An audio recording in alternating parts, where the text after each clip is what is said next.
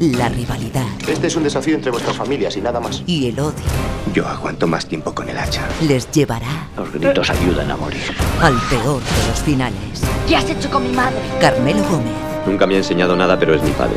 Emma Suárez, ¿No ves que es un loco? la ópera prima de Julio Medem, ganadora de un Goya. Gritar es digno. Vacas. En 8, Madrid.